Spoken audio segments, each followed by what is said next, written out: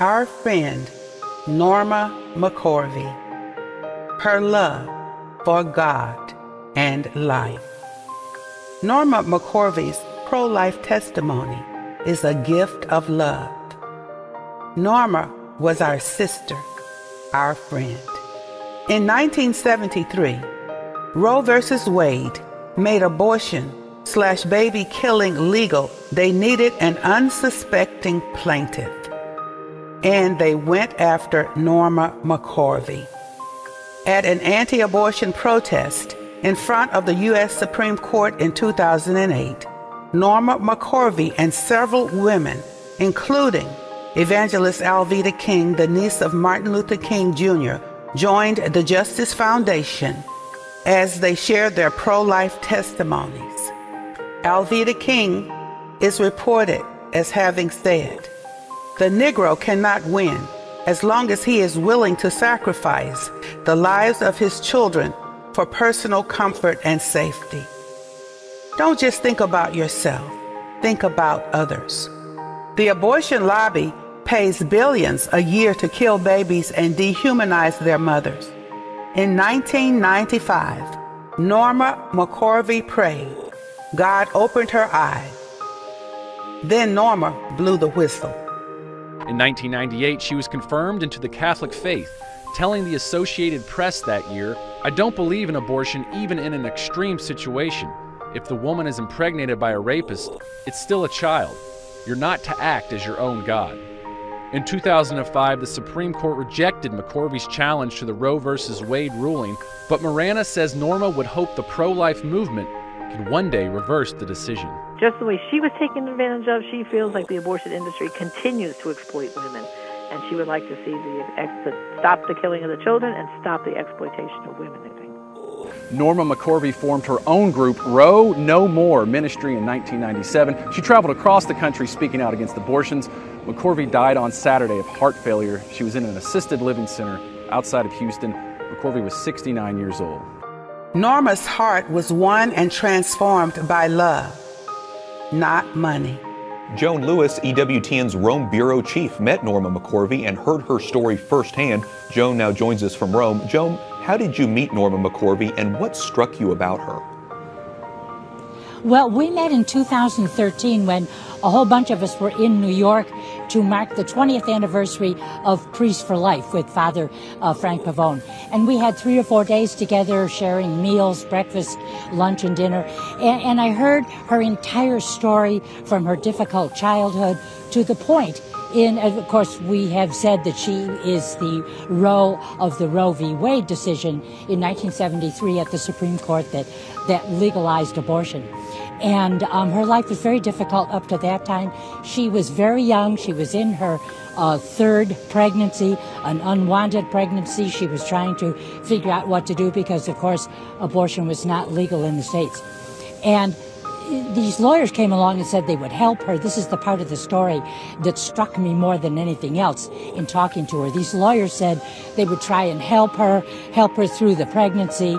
Well, the long and short of it is she really was deceived, misled by these lawyers. She never had an abortion herself, and she never even went to court. But before she knew it, you've got the Supreme Court case decided, the Supreme Court siding on the side of abortion, and it became illegal. Uh, it became legal in 1973. So to see her anguish at something she thought was just going to be lawyers helping her in a personal decision become something that affected our entire country, and she lived with that anguish for such a long time. Joan, what do you think led her to change her mind about abortion and become part of the pro life movement from a spiritual point of view? Actually, I'll tell you what it was. Here, she was working to help people with abortions. She was familiar with doctor's offices. She herself was in her third pregnancy. One day she's in a doctor's office and she sees a chart on the wall and it was a fetal development chart. And she looked at it and just like had this epiphany of, oh my gosh, I've had three children. I've uh, I've been there when abortions uh, were, were taking place, illegal, of course. But she said, all of a sudden I realized this was human life. Abortion was the deliberate taking of a human life in the womb of a mother. And, and so when she realized that, she then dedicated the rest of her life to o- trying to overturn the decision that she had been instrumental in, in helping the court pass in 1973. So uh, faith became a very big part of her life. She was baptized as an adult. Father Frank Pavone brought her into the Catholic Church, confirmed her um, in 1998, and then she spent years giving talks and being part of the March for Life, trying to overturn that dreadful Roe v. Wade decision. It's a pretty profound story uh, after a pretty profound life. Joan Lewis, EWTN's Rome Bureau Chief, thanks so much for talking with exactly. us. My pleasure. Shameful fake news would have us believe that Norma McCorvey was a mercenary. Nothing could be further from the truth. For those of us who knew and loved Norma, we know that in the end, Norma loved God and Norma loved life.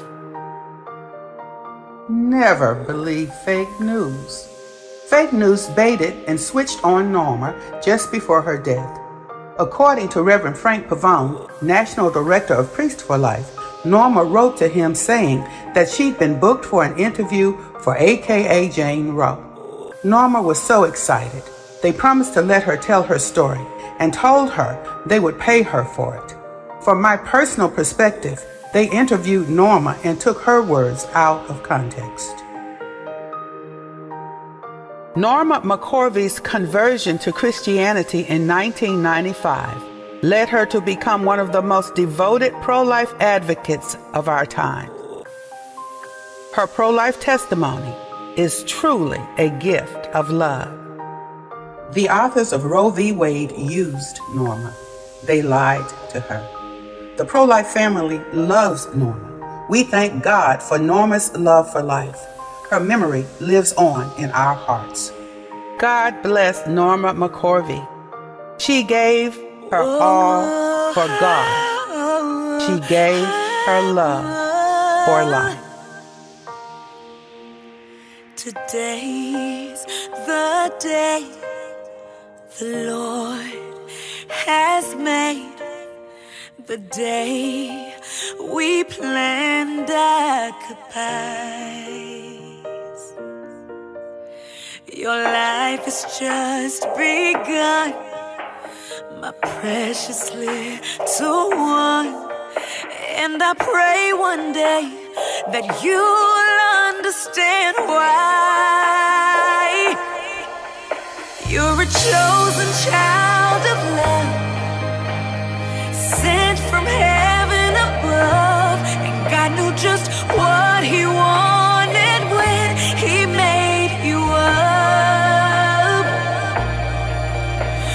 You're a chosen child of love, sent from heaven above, and God knew just what He wanted.